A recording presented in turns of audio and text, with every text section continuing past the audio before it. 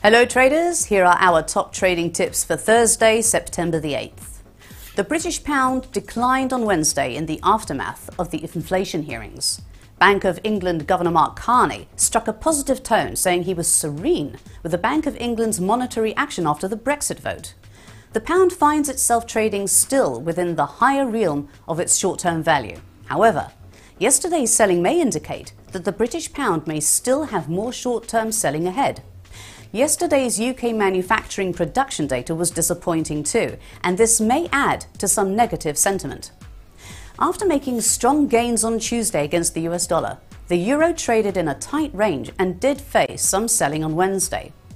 German economic data continues to turn in poor results. However, it is the European Central Bank monetary policy pronouncements today that will have most investors on edge.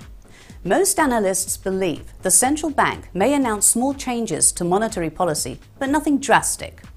What European Central Bank President Mario Draghi says about the health of the overall EU economy is what could cause volatility for the euro. If Draghi admits the economy is still struggling, the euro could face more selling today. Gold continued to hold on to plenty of its gains made early this week. The precious metal did run into some selling on Wednesday after finding a rush of buyers on Tuesday. Perhaps some profit taking was the reason, but it should be said that gold has entered this known short term range a few times, traversing around 1,345 US dollars an ounce without being able to really break through strong resistance levels and sustain momentum.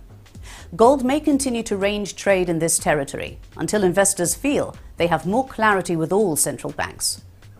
The US dollar continues to find itself being sold against the yen. Asian investors have seen negative data from both Japan and China, and this has created negative trading sentiment. The Bank of Japan has gone on record saying that they are not done interjecting stimulus into the Japanese economy, but there are concerns that the central bank's actions may not be effective enough. Short term, we may continue to see traders attempting to sell the US dollar against the yen if risk appetite continues to decrease in Asia. Thanks for watching and have a great trading day.